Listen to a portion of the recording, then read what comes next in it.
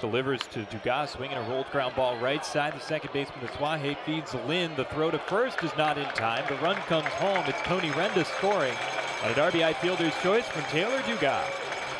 2-0 pitch is swung on, grounded back to the middle. That's through for a base hit.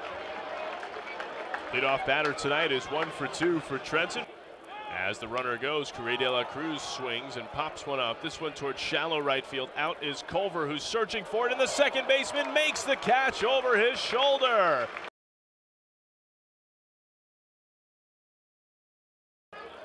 Two and one pitch. Swinging a line drive off the glove of the pitcher. A diving stop by Cito Culver, who throws to first and gets the runner Tavarez. Pitch to Payton. He flies it to center field. That's down for a base hit. Castillo touches third. He will score standing. An RBI single by the man off the bench. Mark Payton has given the Thunder a 2-1 lead. Montgomery with the 0-2 pitch. Swing and a miss on a slider.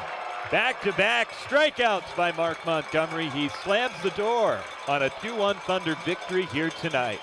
Thunder have taken the first two from the Sea Dogs. It's a 2-1 victory. Only three hits allowed by the Thunder pitching staff tonight.